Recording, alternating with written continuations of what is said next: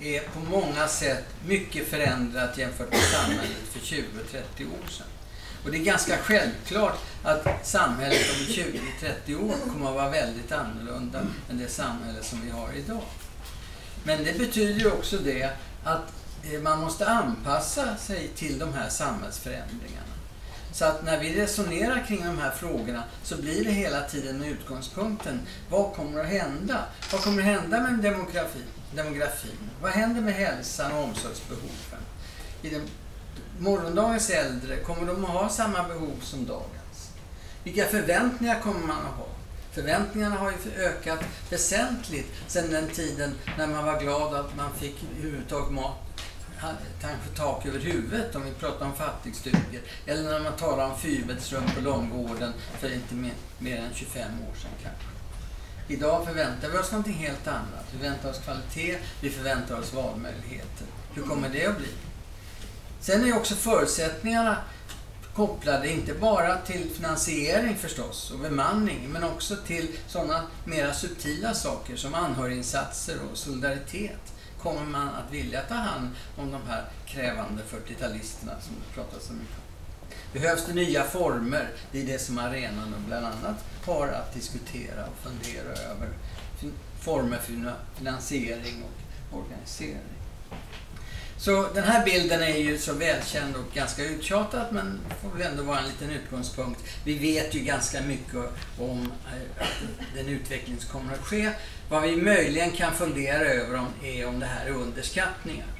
Men min poäng är egentligen inte den att peka på hur många fler äldre det kommer att bli. Utan därför att antalet är kanske inte det viktigaste här. Utan det är ju vilka behov man har givet en viss ålder.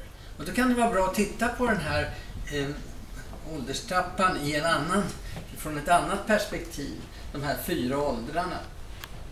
Där är en förenkling då när man har funktionsförmåga i, i något allmänt avseende på den ena axeln och vi har en första ålder där man skaffar sig alla de här förmågorna från det att man börjar och, och gå och börja äta själv och så vidare.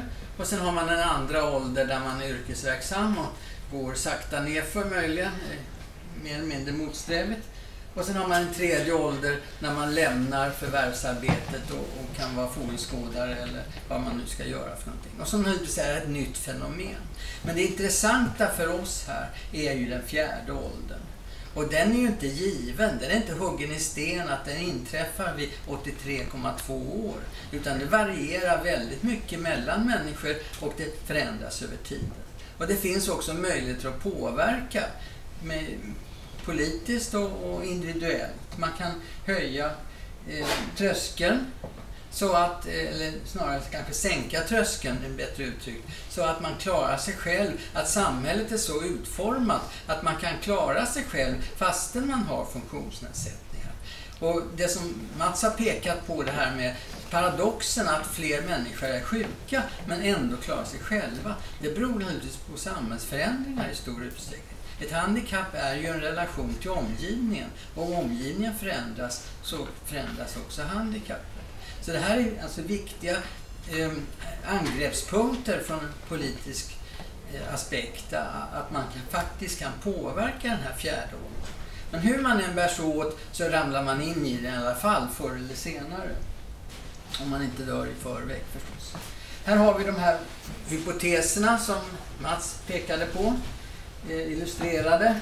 Nuläget överst och sen den sammanpressade sjukligheten som lanserades på 80-talet av en läkare som heter Fries. Eh, han har fått mycket påskrivet för det där. Nu har han modifierat sin hypotes. Han säger, ja det måste man ju göra eftersom medellivslängden har ökat så mycket sedan han la fram den där. Så det var ju helt enkelt och klart att säga att han hade fel. Men han säger då att den här röda stapeln den min, är minskande även om den dras lite grann åt höger på bilden.